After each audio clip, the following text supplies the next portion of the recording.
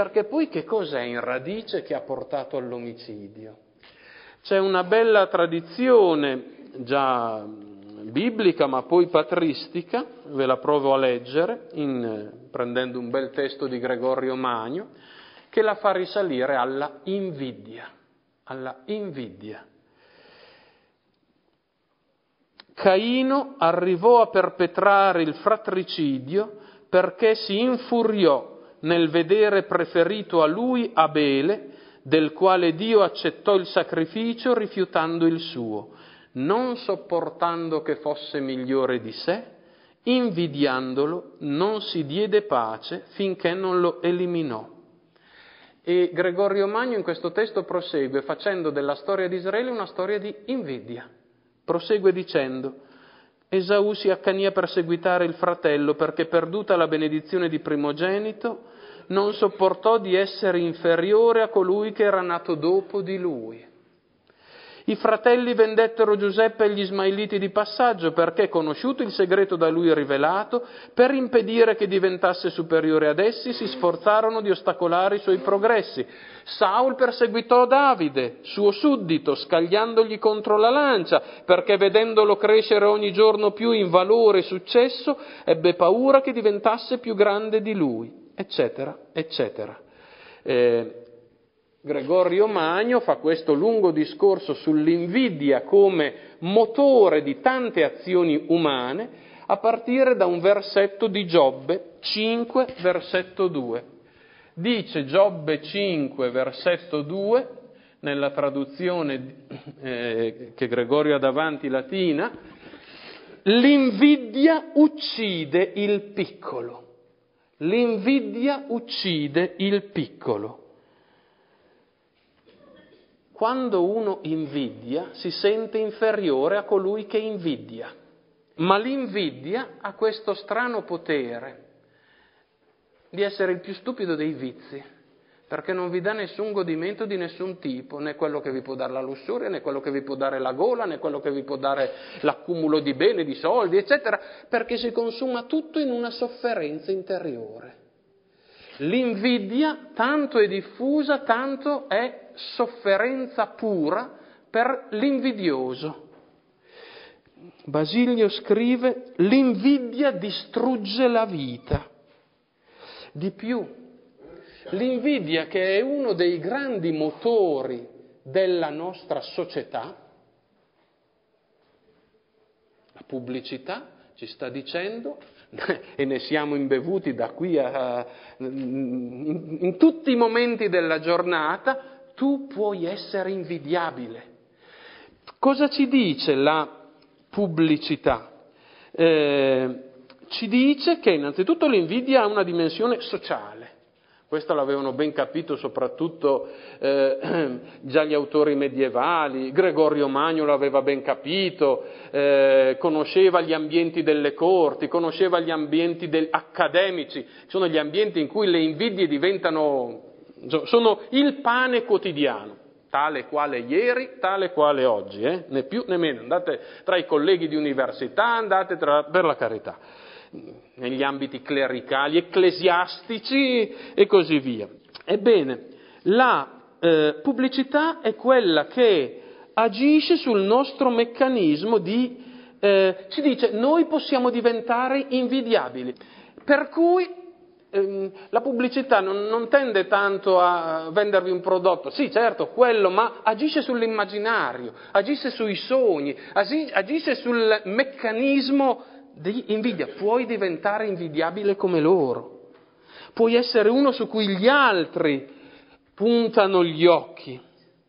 È interessante questo perché io credo che dovremmo riflettere sulla, Ehm, sull'invidia, perché da subito il nostro testo ci dice che è uno dei meccanismi più potenti in azione tra gli umani. Notate anche un'altra cosa, l'invidia è uno dei, eh, degli, atti, degli atteggiamenti non confessabili. Un invidioso non potrà mai confessare di essere invidioso, perché se io confesso di essere invidioso di lui, riconosco che lui è superiore ed è esattamente questo che mi sta sulle scatole. Non lo sopporto che l'altro sia, abbia quelle cose che io vorrei avere. la eh, invidia è la tristezza, la sofferenza per la felicità altrui, per il bene altrui, ma non lo posso riconoscere perché se lo riconosco riconosco la mia inferiorità. Dunque, nell'invidia mi condanno a una sorta di sofferenza senza fine. Secondo me ha fatto così eh, Dante a metterli nel purgatorio gli invidiosi, se li mandava anche all'inferno, poverini, avevano vissuto l'inferno qui e anche di là. Li ha messi al purgatorio dove, eh, e li ha messi, interessante, cioè, non mi ricordo più il, il canto, ma sono, appaiono appoggiati l'uni agli altri loro che hanno mai sopportato l'altro, appoggiati l'uno all'altro accanto a una parete rocciosa grigia, come grigia e livida è stata la loro vita, con le palpebre cucite. Perché invidia ha a che fare con invidere, è il guardare di sbieco, il guardare di sottecchi, è il guardar torvo ed è anche il non vederci più a un certo punto, perché la tua immagine dell'altro si sovrappone a tal punto alla realtà che vedi semplicemente quel che vuoi vedere. Ma appunto è inconfessabile la invidia, che nasce da un senso di essere privato di qualcosa. Questo mi fa nascere la rabbia, questo è Caino, eh? tale quale. Perché lui sì e io no? Mi fa nascere la rabbia, la collera, che però viene repressa, negata, perché se mi mostro nella collera eh, vedono tutti che la, la, rabbia invece è visibilissima, è uno dei vizi delle, delle emozioni più evidenti e appariscenti. E la rabbia porta alla svalutazione, alla denigrazione dell'oggetto. Così là cosa succede? Che l'invidia torna al punto di partenza, la frustrazione, il senso di deprivazione. Normalmente l'invidioso ha anche una discreta, una bassa stima di sé, un senso di inferiorità. Ecco, è l'invidia che si mette, eh, eh, che entra in gioco in questo testo. È l'invidia che entra in gioco in questo testo e l'invidia ha a vedere dunque con il guardare eh, c'è un bel testo nel Nuovo Testamento, nella parabola mm, operai, eh, dell'operaio dell'undicesima ora, avete presente? Perché anche lì c'è un problema che affronteremo tra poco. Insomma, un padrone della vigna fa, eh, ehm, fa venire a lavorare nella sua vigna gente dalle 8 del mattino fino, mettiamo, alle 5 del pomeriggio. Ne piglia uno alle 4 del pomeriggio, lo fa venire lì e gli dà la stessa paga che agli altri. Beh, insomma, però, eh, se lo sapete, anche voi dite qui è ingiusto. La risposta del testo, eh, e le parabole servono sempre a questo, non tanto a dare delle lezioni appunto di come si amministra un campo, come si paga questo, come, come si lavora la campagna o come si, eh, si conduce una pesca, no, cercano di spiazzare il credente, il lettore, per, operando sul suo dire, oh, com'è possibile, operando sul suo spiazzamento, dirgli, così agisce Dio. Il tuo occhio è cattivo perché io sono buono, se io voglio dare a questo tanto quanto a te, non abbiamo pattuito insieme con te per un denaro, te lo do. E io voglio dare a lui anche, anche come a te. Posso? Posso fare del mio quello che voglio? O il tuo occhio è cattivo? Oftalmos poneros, malocchio. Vi dice qualcosa? Malocchio. Nella tradizione mediterranea eh, il malocchio è una potenza eh, molto molto forte non solo nel passato, eh, mm, come dire, sono tradizioni estremamente, estremamente eh, diffuse da cui ci si difende come? Di solito perché ci sono quegli amuleti che devono attrarre lo sguardo per evitare che lo sguardo altrui, volutamente o intenzionalmente, si posi su di me e mi getti la sua influenza nefasta.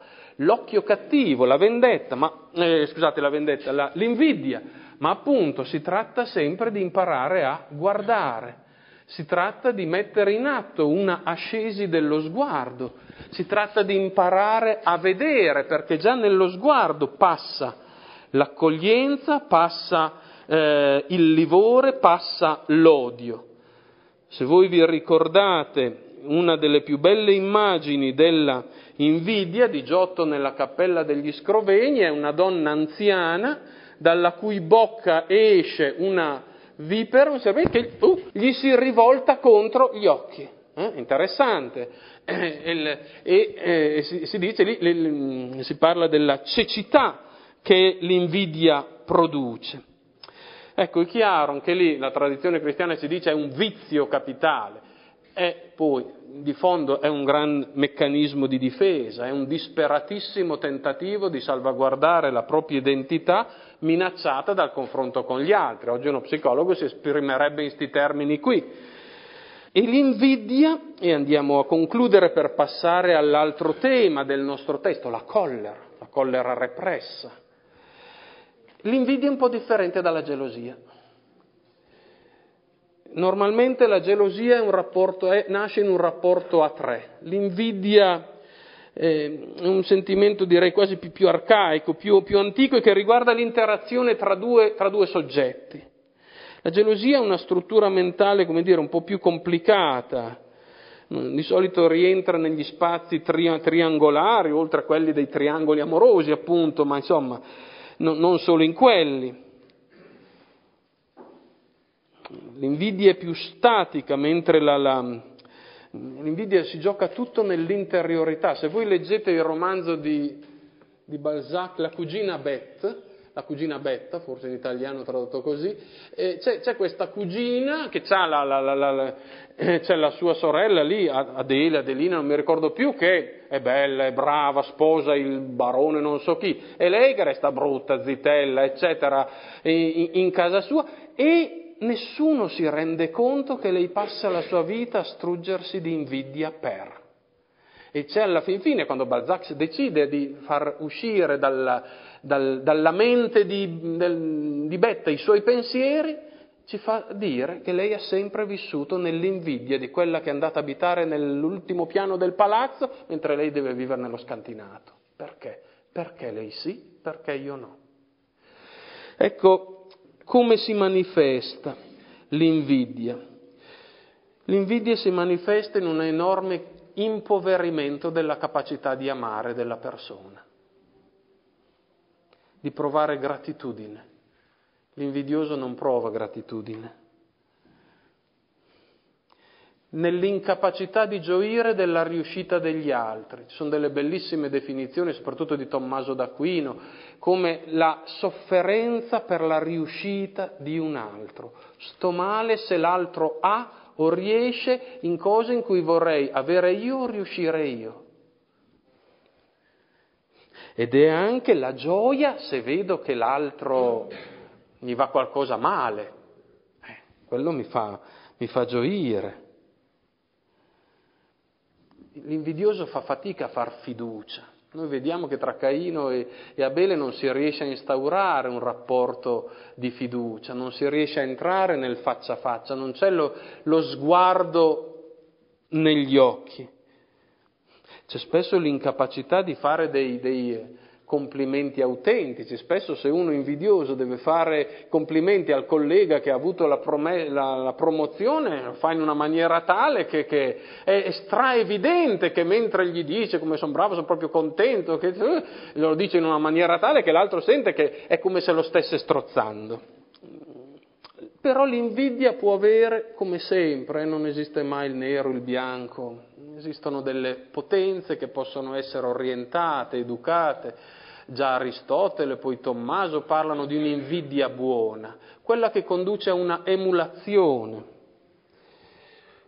Di fronte a una persona enormemente superiore, ammirala, amala, impara del resto, di fatto, le invidie avvengono tra pari.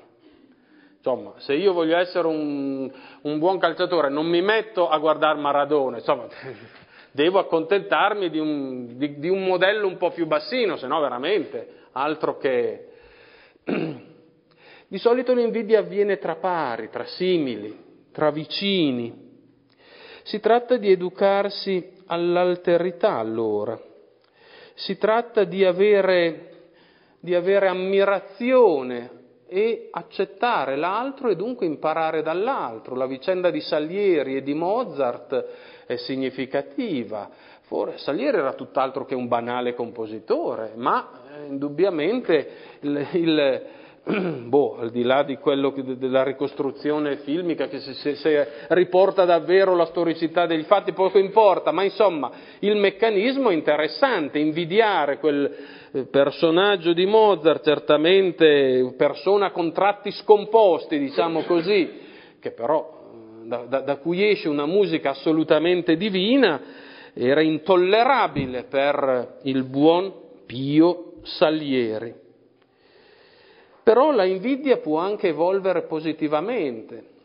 Eh, Guido Reni, un grandissimo pittore, mm, ha avuto la sfortuna di vivere quando c'era anche Caravaggio, che insomma, eh, però ha imparato da Caravaggio, ha saputo anche emulare Caravaggio, ha saputo imparare e ha saputo dunque far evolvere il proprio stile e ne abbiamo degli esempi di innovazioni pittoriche che lui ha saputo fare migliorandosi grazie a un altro che era più bravo di lui. Ecco, certamente è difficile questa accettazione perché comporta ancora una volta l'accettazione di una perdita, l'elaborazione di un lutto, l'accettazione di un limite. Io non sono chi vorrei essere. E lì noi dovremmo imparare quel principio sano di adesione al reale che è salvifico la creaturalità, ci stiamo occupando di questo, ci porta ad aderire alla realtà e a fuggire l'idealizzazione come ciò che ci porta a tradire poi noi stessi e la realtà. È una via di salvezza. Quando gli psicologi parlano di esame di realtà dicono qualcosa di molto saggio, spesso è con il battere il naso sulla realtà che posso prendere coscienza appunto della mia forma, delle relazioni con gli altri e entrare in un rapporto meno nevrotico con gli altri e con la realtà. Ma accanto all'invidia c'è la collera, grande altro elemento tipico dell'umano e grande elemento di difficile gestione. Caino è esattamente incollerito e non riesce a esprimere la propria collera. E sempre Gregorio Magno, in un testo che non so se ho qui davanti a me, non mi ricordo più, in, che dice che il primo omicidio è nato da una collera repressa. La collera è energia. La collera è un'emozione, prima di essere un vizio, eh? è un'emozione, come lo è la gioia. Può avere una evoluzione positiva, può avere un'evoluzione negativa. Si tratta di imparare a esprimere la collera a mettere una parola sulla collera. Certo, anche la parola può essere violenta. Se io nella mia rabbia dico tu sei un pazzo, tu non capisci niente, tu, eh, io sto uccidendo, eh. Se io dico con tutti i toni veementi mi hai davvero fatto star male, mi hai davvero fatto soffrire con il tuo comportamento e non guarda che con il tuo comportamento io credo di essere un po' ferito. No, ehm, se uno è arrabbiato è arrabbiato, eh? Eh, però devo lasciare aperta la porta alla relazione, perché anche nell'arrabbiatura, che fa parte della vita, santo cielo, fa parte dei nostri rapporti, fa parte del rapporto con Dio, fa parte del rapporto tra marito e moglie, tra genitori e figli, e guai se non ci fosse, e guai se sempre venisse repressa, guai se sempre...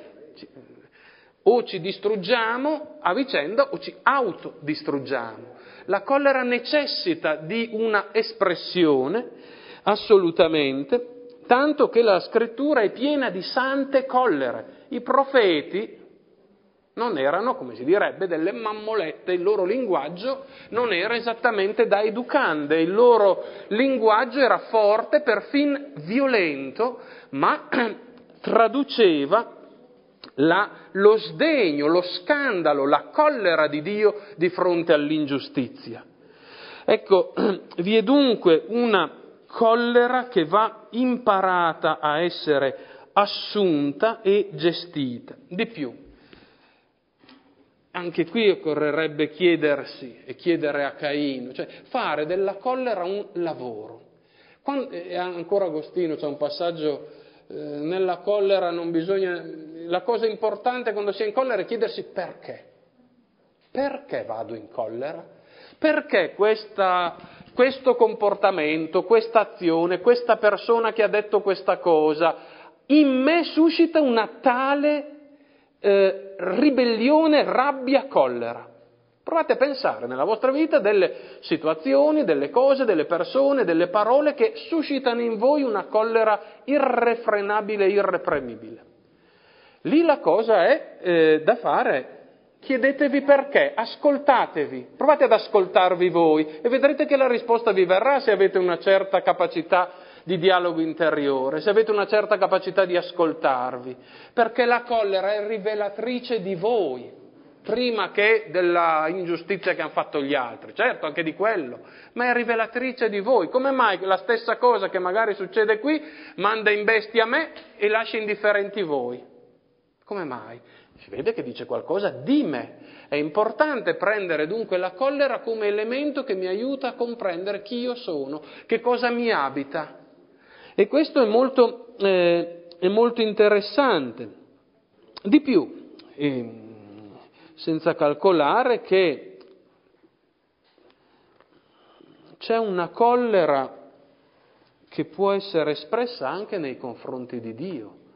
Le, I salmi, le preghiere bibliche sono anche un rivolgere, indirizzare anche un linguaggio di collera nei confronti di Dio eh? rivolgerlo a Dio, dove il linguaggio è di collera e di sdegno, e di collera per ciò che si vede nella storia, l'ingiustizia, il male, e si chiede conto a Dio, si entra in un tenzone con Dio, si entra in un quasi combattimento con eh, Dio. Ecco, certamente c'è qui questo grande elemento che vabbè non possiamo poi affrontare più di tanto, ma che è uno dei grandi elementi costitutivi della, eh, eh, della personalità umana, della condizione umana. E indubbiamente con il versetto 13, quando Caino arriva a riconoscere, a entrare nella responsabilità e a uscire da quel meccanismo dell'autogiustificazione, della delega che abbiamo visto operante in, eh, eh stamattina in eh, Adamo, Eva, eh, è stata la donna che mi hai messo vicino, è stato il serpente, c'è sempre un altro, è la funzione grande degli altri, spesso ignorati, ma quando c'è da dare la colpa vanno sempre bene, sono sempre utili. Ebbene, a un certo punto Caino dice la mia colpa, la mia responsabilità. Ecco un, un passo di umanità, riconoscere di essere il responsabile di ciò che si è commesso e addirittura arriva a dire la mia colpa forse è troppo grande per essere alzata, sollevata, per, per essere perdonata. Certamente il cammino della, del perdono che è di nuovo un cammino molto importante nelle relazioni umane, un cammino che si oppone a quello che vedremo subito dopo, della vendetta. Interessante, è come in questo testo troviamo invidia, collera, vendetta e perdono. Il perdono è un po' l'opposto della vendetta. Della vendetta parliamo subito dopo a proposito di Lamech. Quando Lamech fa questo uh, grido belluino rivolgendosi alle sue due donne, eh, c'è già la, la, poligamia, ascoltate la mia voce, mogli di Lamech, porgete l'orecchio al mio dire. Ho ucciso un uomo per una mia scalfitura, mi ha fatto un graffio, io l'ho ucciso. Ho ucciso un ragazzo per un mio livido. Viene da dire, ma benedetta la legge del taglione, se uno ti fa un graffio tu gli fai un graffio, se uno ti fa un livido gli fai un livido. No, no, qui siamo alla vendetta smisurata, senza fine, siamo alla faida, siamo alla dismisura tra l'evento accaduto e i, eh, gli effetti che ha. Ma lo vedremo. Ma prima Caino l'omicida dice, invoca o dice la difficoltà dell'ottenere il perdono, dell'essere perdonato. Del resto il perdono inizia quando ci, si accetta di rinunciare alla vendetta. Il primo passo per poter entrare in un cammino eventuale di perdono è dire rinuncio a vendicarmi, a fare delle ritorsioni contro chi ha fatto del male, ma significa anche riconoscere che si sta soffrendo. La vittima ha tutto il diritto di riconoscere che sta soffrendo per il male subito e che ha tutto il diritto di andare in collera per questo e di esprimere la collera, perché spesso è proprio così che si arriva anche a entrare in un cammino di riconciliazione. A volte avviene in processi psicologici di riconciliazione di persone che hanno subito magari delle violenze molto tempo prima e che cercano di riconciliare il vol, di riconciliarsi con il passato, con le figure mm, che hanno compiuto abusi o violenze, eccetera, e lì spesso uh, il poter gridare, dire, esprimere la propria rabbia contro è importante per poter arrivare a, ri, eh, a sostenere di nuovo la visione del volto dell'altro. È anche importante in tutto questo avere qualcuno con cui poter dire, elaborare ciò che uno sta vivendo di sofferenza e anche ovviamente dare il nome a ciò che si è perso con il male subito, perché Caino ha ammazzato Abele e Abele la vita l'ha persa. E questo non viene dimenticato, questo non viene... Eh, eh, se io uccido una persona, eh, i, i, suoi genitori sono privati per sempre di questa persona. Il perdono non è dimenticare, non è usare un colpo di spugna, anzi il perdono avviene solo quando si ricorda, quando si ricorda. Se non si ricorda si ripete, si ripete. Chi, non a caso, spesso quelli che compiono azioni anche violente contro bambini, ok, sono quelli che l'hanno subita a loro volta, non avendo avuto strumenti per verbalizzarla e dirla, non possono che entrare nella terrificante coazione a ripetere. Se invece riesco a ricordare, posso fare qualche cosa del male che ho subito, posso elaborarlo, posso entrare in un cammino di... Eh, reintegrazione e riconciliazione. E si può arrivare addirittura a trovare un senso al male ricevuto. Lì se avessimo il tempo di leggere tutto il capitolo dal 12 ai 50 della Genesi, vedremo la bellissima storia di Giuseppe che è esattamente questo. La storia della riconciliazione a partire da un male subito in modo gratuito, in modo mm, veramente anche ripugnante e che ha ucciso una parte della vita di Giuseppe. Si potrà dire che è rimasto vivo, ma la vita che lui aveva, che era la sua, che avrebbe potuto, dovuto, probabilmente anche voluto vivere, gli è stata amputata da quello che i suoi fratelli hanno fatto. Poi certo il testo nella sua lunga parabola arriva a mostrarci che anche a partire da situazioni così segnate si può arrivare a trovare del bene, eh, la classica frase che Dio scrive dritto anche nelle nostre righe storte, ma eh, certamente questo significa un cammino molto, molto lungo e all'interno del male subito, anche quando si arriva a perdonare, non c'è da dire no, non è stato niente, è stato tanto e bisogna dare il nome a tutto questo. Così forse si può anche arrivare a un percorso di perdono, di comprendere anche l'offensore come un fratello, un figlio d'Adamo che il male ha allontanato da me.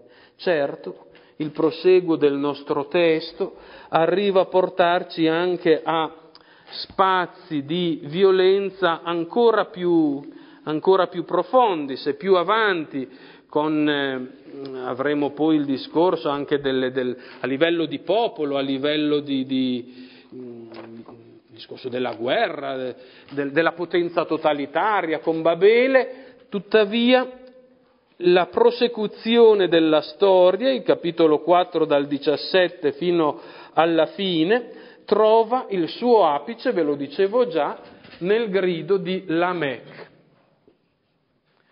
All'interno della evoluzione dei lavori, dello sviluppo delle arti, della nascita della musica, eh, l'artigianato, eccetera, c'è anche questo svilupparsi dei costumi, che sono costumi sociali, costumi, eh, cioè la poligamia, ci sono alcuni che interpretano il nome Nama, sarebbe la bella, la dolce, forse come riferimento a una prostituzione, e come dire, c'è il progredire e del bene e del male, diciamo così. Ma quello che mi interessa di più è un'altra istanza, eh, un'ultima istanza, quella della vendetta, dell'uomo che sceglie di fare il male e che eh, si determina a questo.